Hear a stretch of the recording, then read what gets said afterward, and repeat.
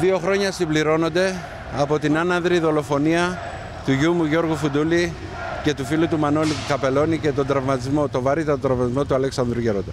Δυστυχώς, δύο χρόνια τώρα είμαστε στα σκοτάδια. Δεν έχουμε καμία ενημέρωση από την αστυνομία, από τις αρχές τι γίνεται με αυτή την υπόθεση. Έχω έρθει με δικηγόρο, έχω ζητήσει το φάκελο να δω πού πηγαίνουν οι έρευνες.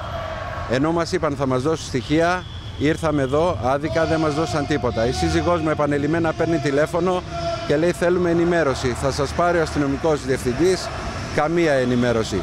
Πιστεύω ότι ολιγορεί η αστυνομία, δεν ξέρω για ποιους λόγους, η ηθική αυτοργή για μένα είναι γνωστή, είναι το πολιτικό σύστημα γιατί αυτή ήταν μια πολιτική δολοφονία που όμοιά της δεν έχει ξαναγίνει στην Ελλάδα.